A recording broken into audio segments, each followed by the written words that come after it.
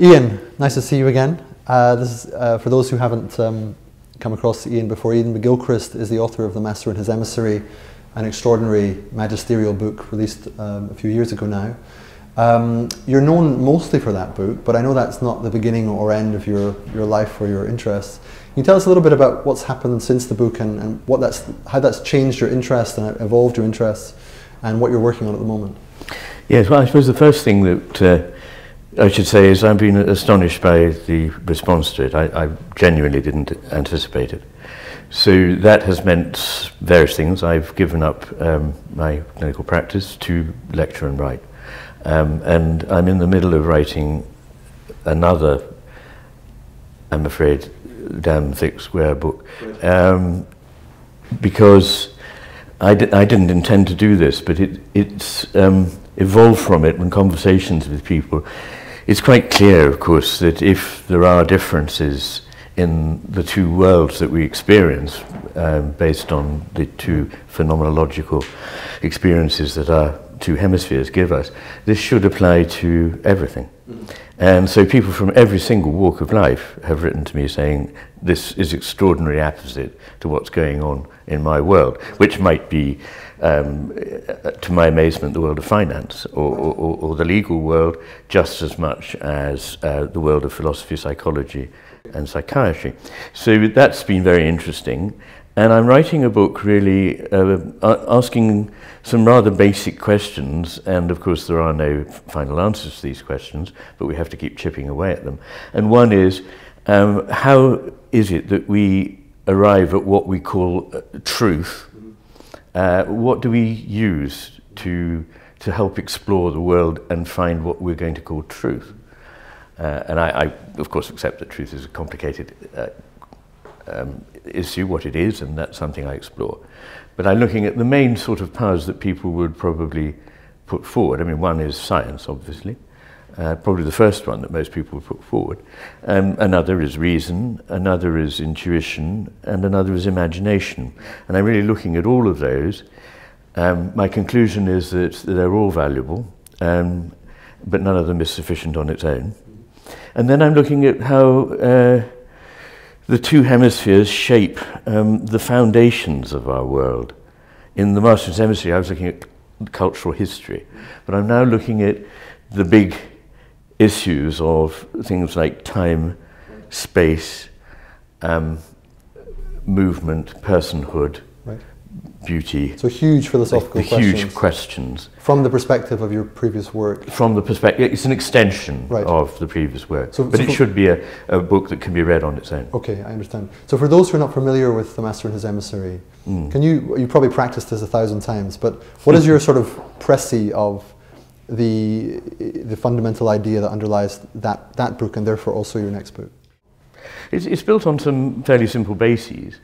Um, it's not controversial that each hemisphere attends differently to the world. Uh, putting it simply, the left hemisphere uh, pays narrowly focused um, uh, sharp uh, attention to details that are considered already uh, uh, of interest, whereas the right hemisphere does the rest, basically. It keeps a broad, sustained, vigilant attention open to the world without any commitment as to what it's going to find. And so that is uh, fairly well established. I don't think you'll find anyone who would uh, yeah. counter that. Um, and as philosophers and psychologists are familiar with this idea, um, the different attention you pay to the world changes what it is that you find there. Right. So what you find in the world very much depends on the nature and extent and kind of attention. And so the two hemispheres are likely to um, give us two experiential worlds. We're not aware of this because at a level below consciousness they're being alternated and fused, so we're not aware of that. But what this means is that when we come to talk about the world and, and um, express a, a position on it, we're going to want to adopt one or the other because we live in a culture where um, being um, not consistent is considered a sign that you're not thinking straight. Whereas indeed um, most of reality has paradoxical qualities if you begin to look at it carefully. And that's because the left hemisphere is seeing an aspect of the world and the right hemisphere is seeing another. Uh, but they're not strictly compatible. And so, uh, what I do in the Master and His Emissary is say, so we need to balance these. Are we, in fact, balancing them now in our culture? And I, after going, explaining what the differences are, which affect every aspect of how we understand the world, I then look at the history of Western Europe, looking at times when it seems to me they've been well in balance, and my conclusion is that at the moment they're not, that the left hemisphere way is the only one we respect, and that the version of the world which is richer and more complex that the right hemisphere offers is harder to articulate and therefore doesn't get expressed, and is probably not coherent with the left hemisphere's version, which seems so simple and logical. Yes, okay, I understand. And um, as you know, we've spoken about this before at length, and we produced a document for the RSA called Divided Brain, Divided World, mm. which is available online. And that was an attempt to really drill down into the theory and what it might mean. Things have moved along since then in many ways, in particular your own thinking uh, about how this applies to, for example, you, you know, finance or economics. Mm. Uh, and the, some of the political debates in the world. Now, mm.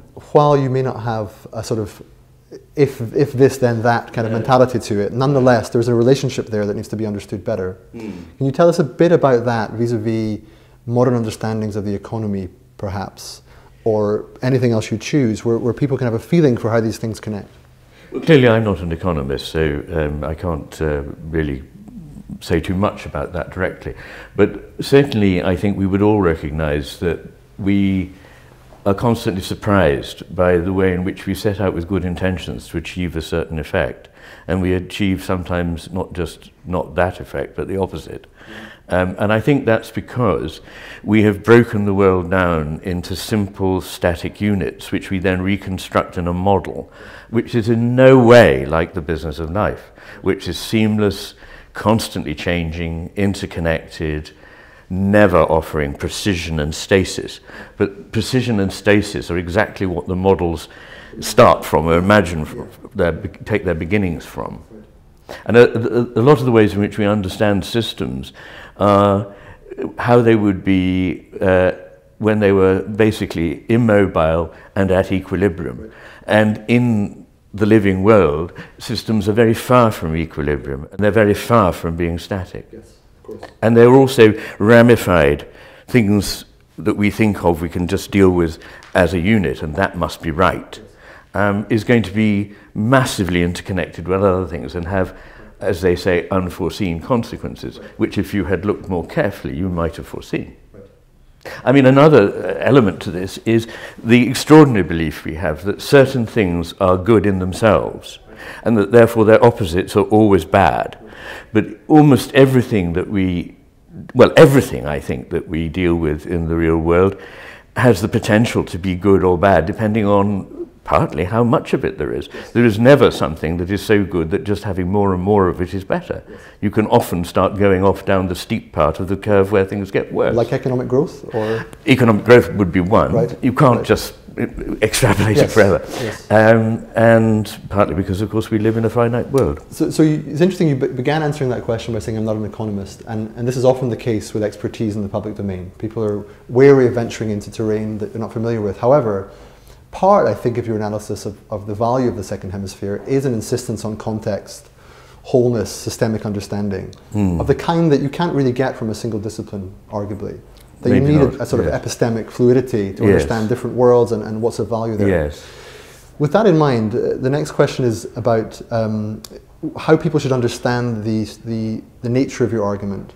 Because it sometimes sounds as though it's all in the brain, yep. axiomatically, reductively, it happens in the brain and then it manifests in the world. Now, I know you don't say that. No. However, it's also true that when people ask you for uh, consequences of what follows, it's difficult for you to provide them without a great deal of tentativeness and, and context and nuance. So it reminds me of Yeats's uh, yes, yes. Uh, famous line that the, the best lack all conviction while the worst are full of passionate intensity. Um, now, in that context, uh, I wonder if intellectually you're one of the best. You know, people admire you hugely for the work you've done. But when people are really asking, what do we do? You know, what, what's the answer? How do we solve it? What, how do we fix it? You know, your answer is, well, it depends, it's complex. Mm. you know, is that the right thing to do? Or do you have a responsibility to say, no, it is complex, and yet here's what I think you should do? I think I have a responsibility not to give a sort of solution, because that would give people the impression, first of all, that there is a single solution, and secondly, that as long as they do the following six bullet points, they can carry on living as they are. Um, so I can hint at things that we could do better, uh, and largely at things that we ought to stop doing um, the first thing, you know, I'm a psychiatrist uh, by, by profession. And uh, when people come to me, I very often know, uh, in a way, a list of things that they ought to start doing. It's hopeless telling them that because they're not ready yet to see why. So one of the things one does is identify things that they see that they're doing that are not helping. So the first thing is to stop doing a lot of the things we're doing, and I think give space for us to see, oh, well, we could do that, and let's let encourage that. What I believe very strongly is we don't, as it were, make things happen any more than a gardener makes a flower grow. The gardener can either smother it and deprive it of what it needs, or give that plant the space and the nutrients. And that then the plant grows. We don't grow it. And I know that's a small vignette. No, it's a lovely it vignette. And it, the challenge here, and it's a challenge I often face as somebody in that interface between bodies of knowledge and, and questions of what to do, is that at an individual level, um, although it remains very complex, there's still some clarity of what might be done or not done, or how advice might be rendered or yes. subtly suggested or whatever. Um, but at a societal level, with these sort of emergent properties of social systems and social structures, it's altogether harder to say anything of the form, mm. um, because of this, you ought to do that. Mm. Mm.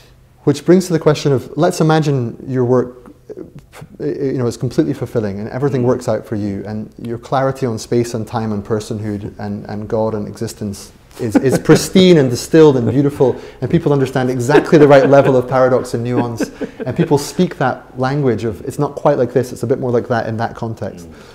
So, if that were to happen, mm. would I be any the clearer about how to live my life, and would I be any the clearer about how we might deal with climate change or, or I think so, because the clarity has got to come from within you, not put into you from without. Right.